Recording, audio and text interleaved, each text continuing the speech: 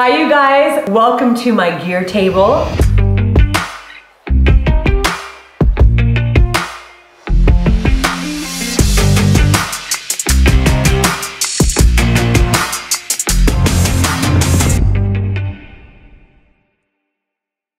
I thought I would take today and just show you some of my favorite go-to pieces that I put in my pack year in and year out that have helped keep me safe on the trail, that have helped to keep me moving well on the trail, um, and also some things that I have learned that I hope are gonna help you just to um, make you faster and more efficient in aid stations and while you're racing, and give you more confidence as you're training uh, in the mountains and on the trails. All right, first and foremost, finding a good pack. I've used a ton over the years.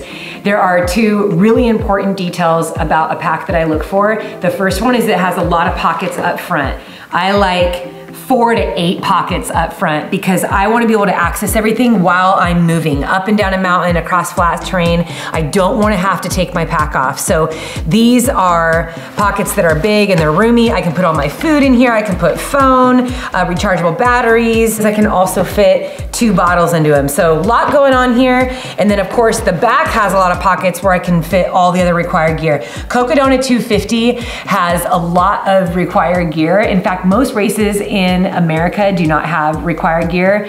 Um, the longer races, these 200 plus ones, they do, which I mean, you're out there for several days, so it's, it's good that we have required gear. This pack um, specifically, the Apex Pro by CamelBak, it's not out yet, but I put about 100 miles on this already. It fits comfortably. I don't like packs to bounce around and this one fits really well um, and that's even with it fully packed. So one of the most important things that I like to do before a race is to run with all of the required gear. So I've already stuffed this thing with all of the required gear. Um, I've gone on mountain runs in this, some big climbing runs, and it's performing really well. All right, so now what am I putting in my pack? A jacket is of utmost importance now, any jacket, storm jacket, um, you want one that's waterproof. You want, this one has Gore-Tex in it. There's zippers underneath the arms so I can stay nice and cool. It's also packable. I've worn this one already for five different races and I like to buy my storm jackets a size bigger. And the reason is, is because I can get them on and off quicker and they can go over my pack if I need it to.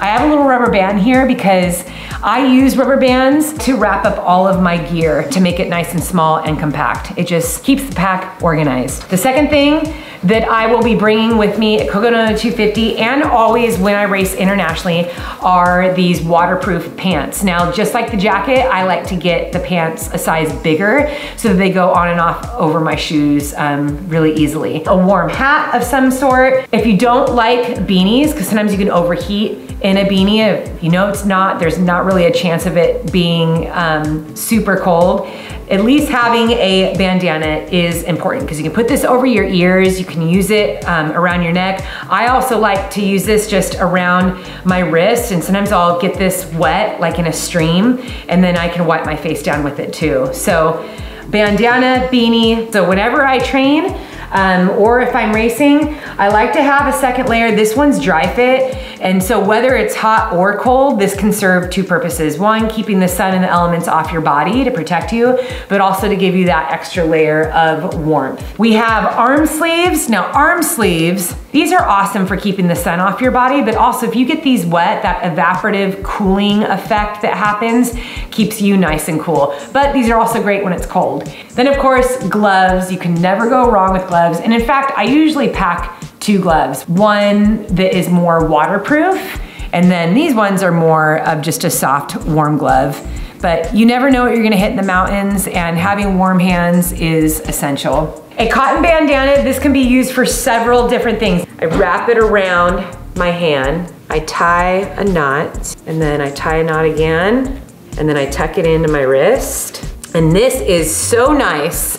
I like cotton um, to wipe my face with. You can take this off and dip this also in a stream, wipe down your whole body. But you can also, when it's really hot, if you get this thing wet, lay it over your head, put your hat over it. It's like this nice flap, this wet flap um, on the back of your neck and on your shoulders. It feels really nice. It also offers that shade.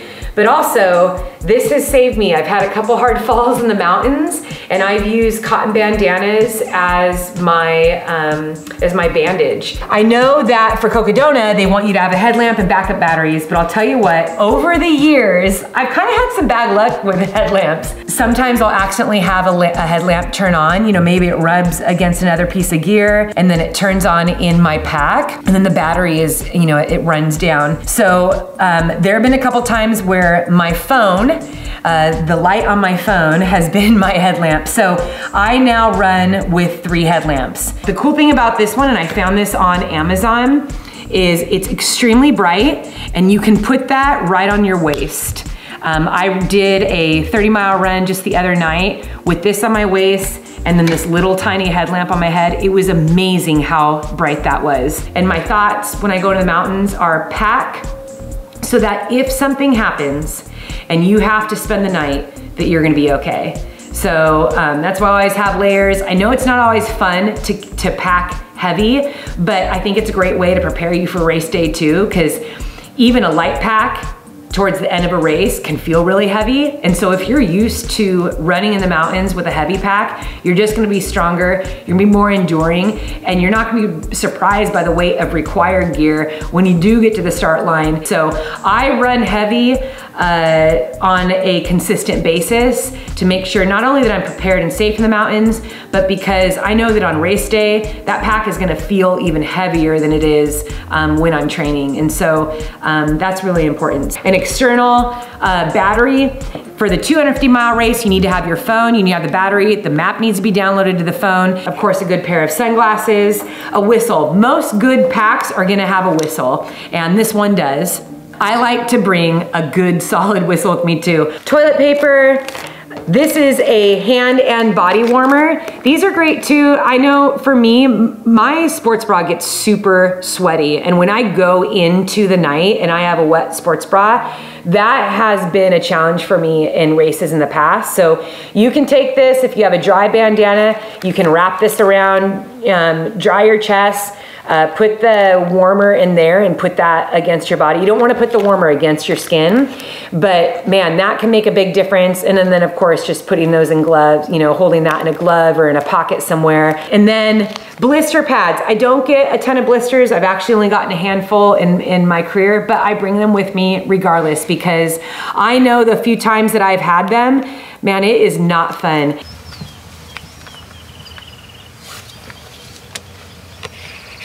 I know they say not to take off your shoes while they're still tied.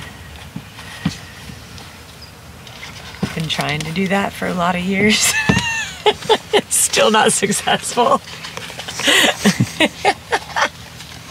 I usually do get to the trailhead wearing sliders.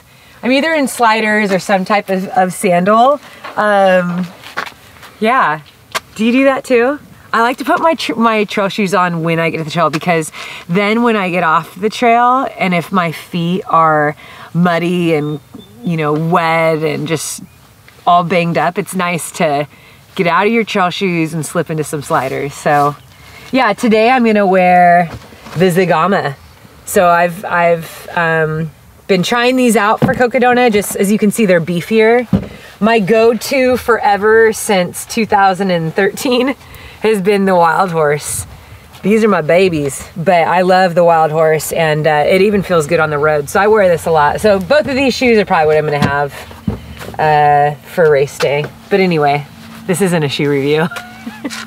Food is essential in the pack. I am just showcasing here some of the things that I have been trying over the years. What I've learned is that if I can train my gut, especially in these weeks leading up to the race, that's only gonna help me move because the longer the race, the more important the eating is, believe it or not. So what I like to do uh, when, I, when I am packing whether to train or a race is I just go off of, I want 300 calories an hour. Now, sometimes I might be only able to get in 200. That's kind of like the baseline that I always wanna be at. I wanna have at least 200.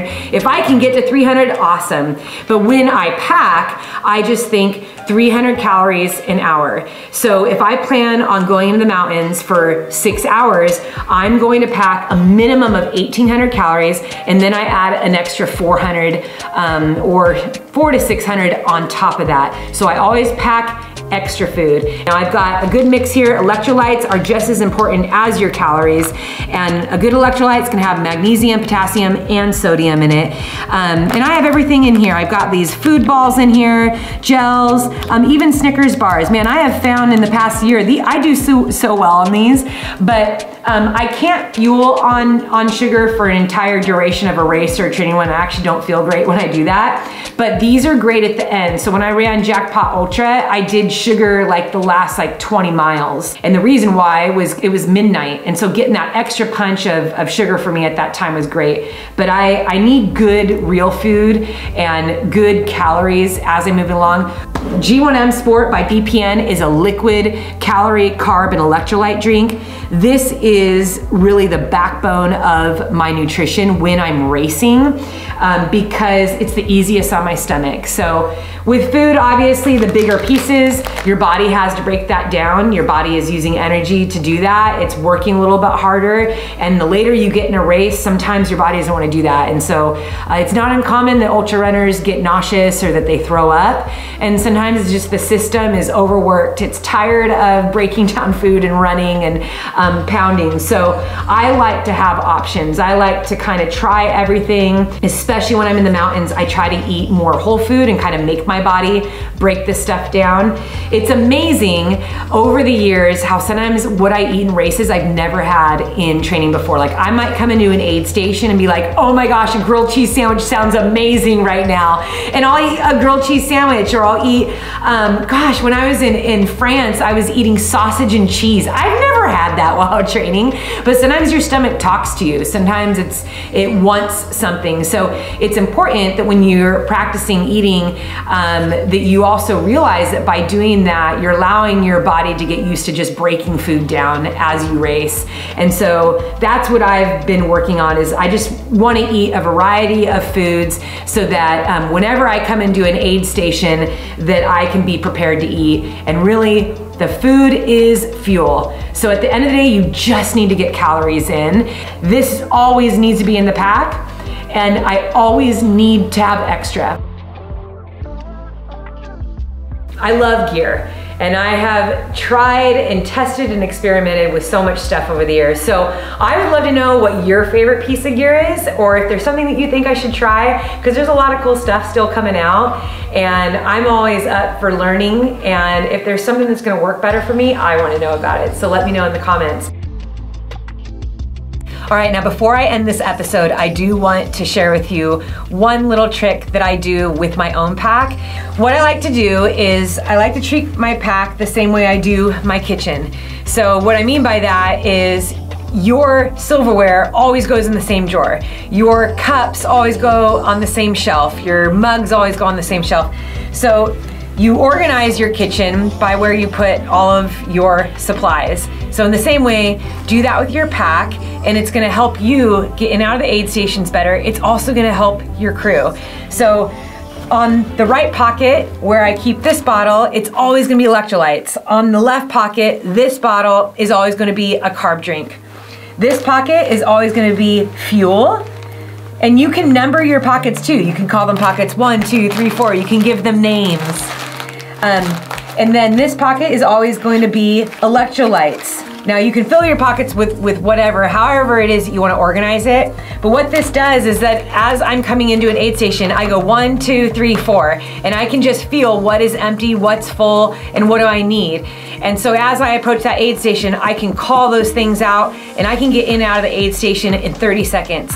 Because a course that has, whether it's eight aid stations or 20 aid stations, you stay in there even for two, three, four minutes. That's a lot of time that can be wasted throughout the entirety of a race. Now, sometimes it's wise to sit and do an aid station and take care of yourself. I do know that, but it's a lot easier when you go into an aid station with a plan and being organized, you know exactly what you want. You're gonna just be more efficient. So organize your pack um, in the same way that you do when you're training, when you're racing, and then make sure you let your crew know about it too so they understand your pocket system. So as you come in and they wanna help you out, they just know right away what every pocket needs. They know exactly what has been full, um, what has been lessened, and then you are just gonna be able to communicate with your crew better and you're gonna be able to get in and out of the aid stations that much more efficiently.